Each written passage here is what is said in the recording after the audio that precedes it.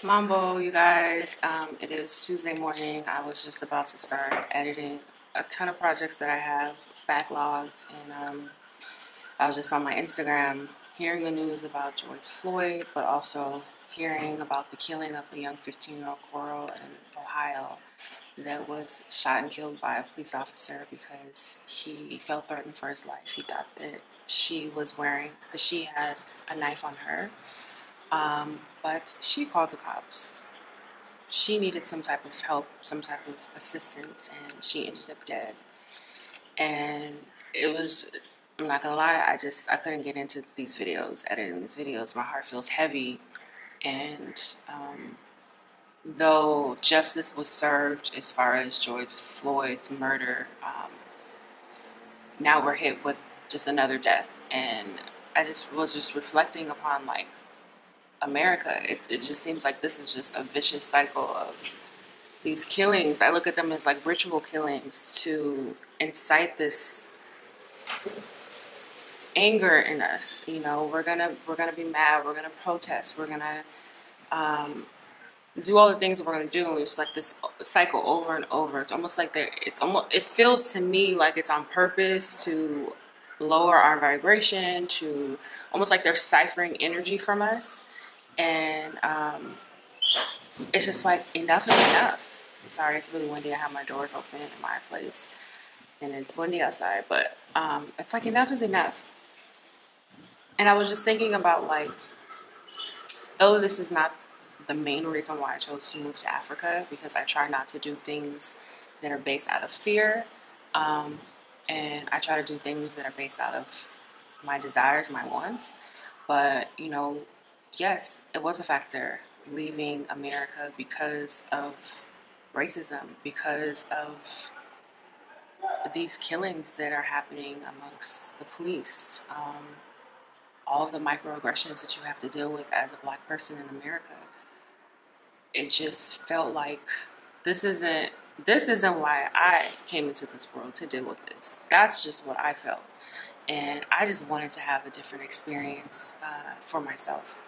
I don't have any children yet, but I just think about when I have when I do have them, the type of environment I would like to raise my children in, um, and just to give them a better opportunity as far as feeling safe, like they don't have to worry about that. Um, but I was just thinking about last year, something happened to me, and I was, it was, I want to say it was like a couple days after George Floyd had died, and and during the pandemic, we were still in lockdown. And one of the things that I did just for my solace and peace was to drive up the P- PCH coast up to Malibu and then drive back down. And I love doing that. I would we have have my music flowing, have the air, this the you have the wind from the ocean, the smell of the ocean, and just to me it was so relaxing. And I would just be playing jazz or whatever I wanted, hip hop, whatever I was feeling um, just to kind of make me feel like I, I was away from where I was. And um, my car, I had limo tints. That means like the darkest tint that you can have. But I had them on all the windows, not the front, but all the windows. So in California, you can't have limo tint in the front. You can't have tint beyond 70% in the front. So my, my windows were 5%. So, you know, you know, as a black person, when you're driving while black, you don't want to be a target. So whenever I would drive late like that, I would always just roll down the front of my windows just so I wouldn't be an extra target. so I was minding my own business and I had a hoodie on that night. It was kind of chilly. I had a hoodie on. I was just like relaxed. So, you know, from a naked eye, you couldn't tell if I was a woman. You just see a black person and I'm tall. So it's like, you probably think I'm a black man. You see a hoodie, you see someone tall, um, but you see a black face. And I end up driving by these police officers and I wasn't speeding. My registration was good. I didn't have like no tail lights missing. My lights were working, brake light, all that. It was good. Um, and drive by, you know, maybe 30 seconds later, you hear the boop, boop, the red and blue lights go off. I'm like, damn. And it's late. It's probably like 1, 1 a.m. So it's late and I'm in Malibu. Um, so pull over. my windows were already down, but I turned off my car. I put my hands on the steering wheel. You know, you do the whole thing. You are. I was already trained for this. Black people, we know what to do when we get pulled over. And I was just thinking, I was like, dang, my purse is in the back seat with my driver's license in, so it wasn't like fully accessible. Um, so the police officer comes up to me. He's like, ma'am, uh, do you know why I pulled you over? And I'm like, no. Why did you pull me over? He didn't answer. And he's like, license and registration And I'm like, okay. So I go in my glove compartment, pull out my registration, and I tell him that my my driver's license is in the back seat and my purse. And my back two windows, which were also tinted, were up and they don't roll down. It was like broken.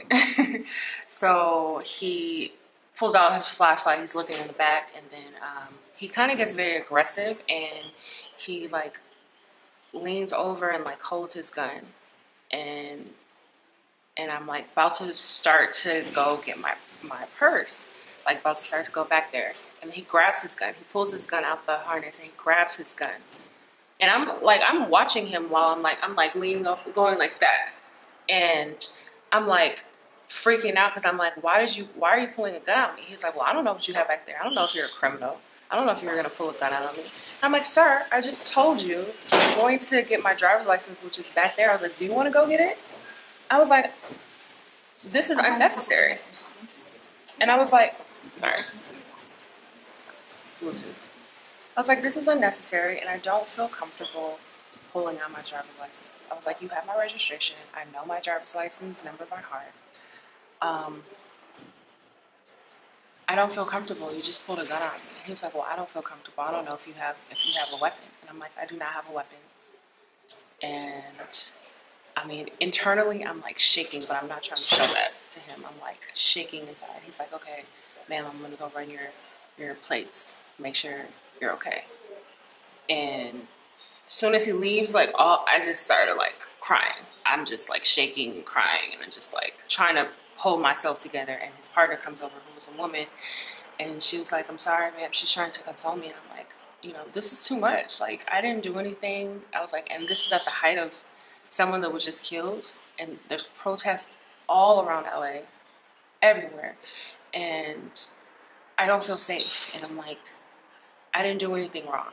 So the guy comes back over and he's like, "Ma'am, you're fine. Your driver's license is clear." And he sees me crying, and he's just like, "You know, why? Why are you?" Almost like, "Why are you acting like that?" And I was like, "Well, you pulled me over simply because I was black. I didn't do anything wrong." And he was just like, "You know, I just had to check that you weren't a criminal." And I was like, why would you think that I was a criminal? Because I'm black. And he's like, no, no, no, it doesn't have anything to do with race. I'm like, he's trying to backpedal. I'm like, yes, it does. And I'm like, it's not fair. I was like, you know what's going on in the world right now. You know how you cops look right now. And it would be different if you just pulled me over and you didn't call me a criminal, you didn't say that I had a, a gun on me, and that you didn't pull your gun out on me. And I was like, I didn't deserve that. And he, I'm like crying. I'm just like, I'm a mess. And you know, he's like, you know, you're free to go. Pretty much, the conversation ends, and I, my heart is just racing at this point, and I, I drive off a little bit. He, he, they end up going like the opposite way up Malibu. I'm like driving back to LA, and um, I pull over. There's, a, there's like all these rocks, and I get out. I'm just crying. I'm just like thanking God that, that what the outcome wasn't different, but who knows? Like, if what if he was having a bad day? he could have shot me. That's how I literally felt. And I remember calling my aunt, and I was just like so messed up. And I didn't really talk to many people about this at all. Um, but I was just really, really messed up because this is the reality of America. Most people who are being killed by the police are being killed, they're being pulled over for minor traffic um, offenses, or if not any, non threatening. And this young girl who was just killed, she called the police for her own protection and she ended up dead in the streets. And I just think about my family, I think about my friends, I think about their children, I think about just everyone that I know there and why I just felt like beyond just wanting to travel and expansion and like having a different experience, how much I just felt unsafe living there. And it's like you pray that one, that you're not the one, that you're not one of the names that we have to now name for their lives or that your family member isn't. But even even if it's someone that you don't know, you still feel the pain. We're all connected. You still feel the grief. You can't deny that. And it's it's too much because these are like ritual killings. It's like they're trying to cipher our energy. It just it's devastating. It's devastating that week after week, month after month, year after year. I mean, I grew up when in LA when Rodney King was uh, beat and the LA riots. I mean, I was like nine or eight years old when that happened, and I grew up in the neighborhoods where everything was on fire. I saw my whole neighborhood go on fire. I saw all the people putting up black owned, all the Asian shops putting up black owned, and and you know, my dad was a preacher in LA, trying to like calm the community and like find peace and.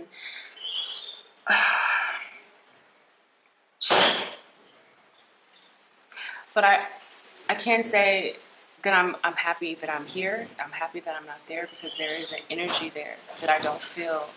There is a heaviness there that I don't feel here. There is a peace here that I don't that I never felt there. And I know a lot of you guys watch me because a lot of people from America, specifically I'm talking about us because this is where it's happening the most. I know you guys watch me because you have that desire to travel or to connect with your roots, come back to Mama Africa, come back home. Um, yes, consider these things because it's not going to change. And I don't want to sound like a pessimist because I like to think of the best, but it's like if this is if if you think about a foundation, a foundation is never going to change unless it gets destroyed, unless it, it gets abolished, unless you go in and jackhammer it down. So if the foundation of America is built off of racism and hatred towards black people, why would it now change? Doesn't matter how much we've contributed, how much we've made America great, how much our culture has uh, transcended beyond. I mean, it's it's everywhere. It doesn't matter how much we contribute and uh, produce. Uh, how many of our ancestors have uh, died, killed, been raped, and built America? It's just it's not for us. and that was the reality that I had to come to face. It's not for us. It's not safe. And though some people may look at it the land of opportunity. Yes, you can make lots of money there. Yes, we have progressed, and it's not where it was 50 years ago with civil rights, you know, 150 years ago with slavery. Of course, there have been improvements, but the overall, like, needle and thread, the overall thread has still been racism. It's just been twisted in different forms. And I decided that I didn't want to live my life that way. I decided that when I have children, I don't want to raise my children in that environment, and I want to be able to give them uh, a better life, a life of like understanding who they are on a on a deep level, loving loving the skin that they're in, like not trying to. I can't even tell, especially being in LA where colorism is like a bug out there, and I know colorism lives everywhere. It's everywhere, but being here, I just feel so much more beautiful. I feel like I just feel like, yes, I am exactly who I should be. The way that I look, the way that I'm created is exactly who God intended me to be. And in America, you don't feel that way. You really don't because it's very, the Eurocentric mindset, the standards of beauty, even though it's really crazy because all the things that, you know, uh, some people aspire to look more European, but those Europeans are looking like us. It's very confusing and just like what? and I'm not even going to talk about Africa and, you know, some of those issues with those type of things, but just as a single black woman coming from Los Angeles, California, um, and having all the experiences that I've collected over the years, I have no regrets about being here. I'm very, very grateful to God, to myself, to my higher self, to my ancestors, to everyone who has supported me on this journey or not supported me. It doesn't even matter.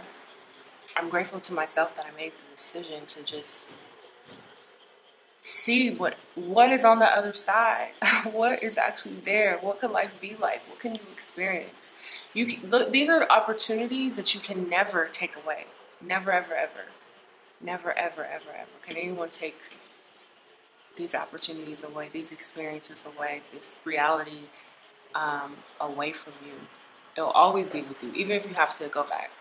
Um, it will always be with you. But I just want to tell you guys a story because I know a lot of you guys are watching from America, and you know you were inspired to come back. And like I said, um, when is enough going to be enough? When are you going to decide you want something better? When are you going to